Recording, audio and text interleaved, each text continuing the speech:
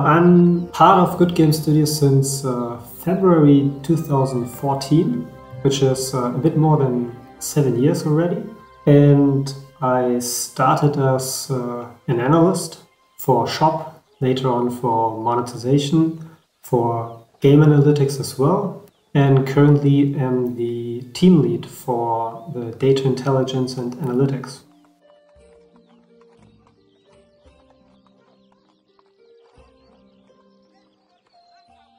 The very first thing was an analysis about the different payment providers, so the methods users do basically payments with, and to analyze basically what are the, the favorite yeah, service providers therefore, and give kind of some recommendations or optimization insights there, or basically just prepare a first overview which hasn't been there beforehand.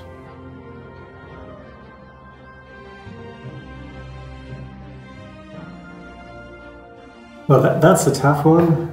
Since as an analyst, I really didn't work too much on, on the game itself. But since I'm responsible for also setting up tracking, that kind of tracking infrastructure is basically the most important thing for me. So also like a bit of the game server and how it's structured, where we also kind of query a bit of data from in order to get uh, real-time data and yeah, just the, the current status of what users have in their economy.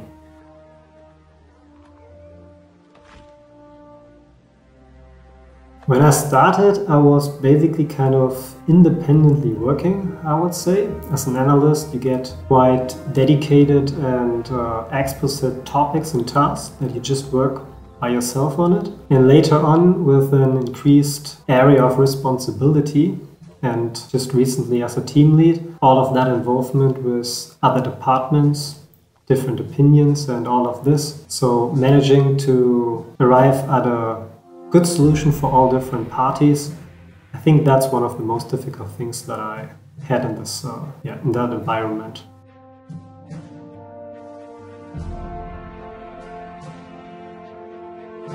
As I don't know too many of them, but the one that basically uh, still can remember is from that one Battle of Nations, what we had, where we uh, had this real forged sword as one of the big rewards. I think King Eric was one part of that kind of campaign that we had, so he reminds me of this, where we did quite some uh, extra efforts in terms of analysis and providing all of the, those data. Uh, from cross server basically, and therefore King Eric would be my choice here.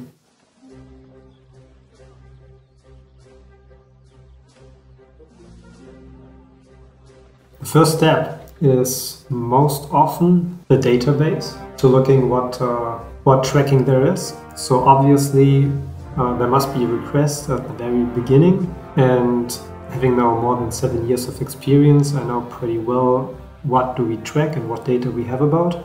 So sometimes there are questions where I quite certainly know that we don't have any data about this which means that tracking has to be defined, new one, and then we start basically tracking those kind of information. And for all of the other topics where I know or where I can look them up in the database, there it basically starts. And then it's just like a communication with that stakeholder to yeah, flesh out the details which are requested.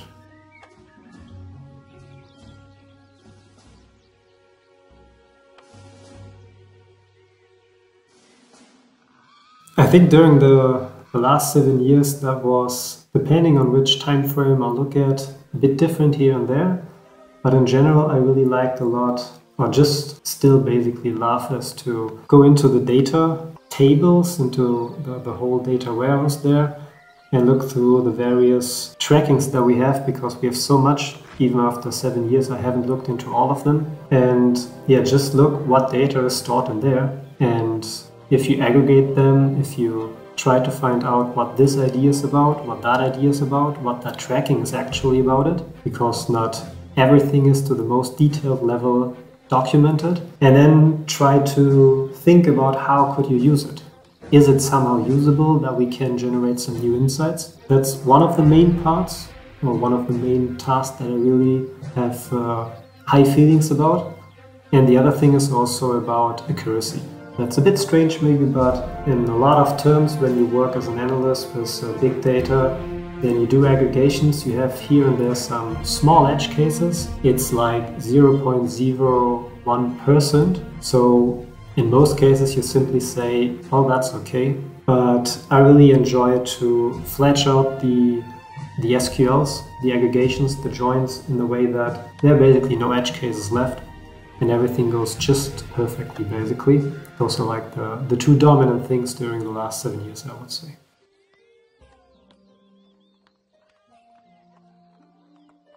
As a data analyst, you really have to have some feelings for numbers. So you, you must like them. Sometimes people say that numbers are dancing for them. You're telling a story or so. I think it's kind of similar to me as well there. But you have to have that, that special relationship to numbers. Otherwise, you will not most most certainly not be happy in that position. And yeah, I think that's it. Basically, it's it's all about numbers. In particular, if we not only talk about the broad ticket uh, topic about data analytics and, and data there, but a bit more into that branch of specific like game analysis. I think also an interest in games and how a game as a microeconomy is also of uh, at least a very big help because here you have basically data that you you know that, that describe a whole economy that is influenced by some rules defined by design. And you can analyze all of the impacts. And whenever a feature goes live it has an impact on the economy. You can look at where it impacted most what did it impact it you can have expectations, you can derive them from the past, and quite often it just is uh, surprising how the, the final impact, the result looks like. But as you do this for quite some time, you improve and you will really be able to kind of forecast how the user behavior on certain things will be. And that's cool. That's at least very cool for me.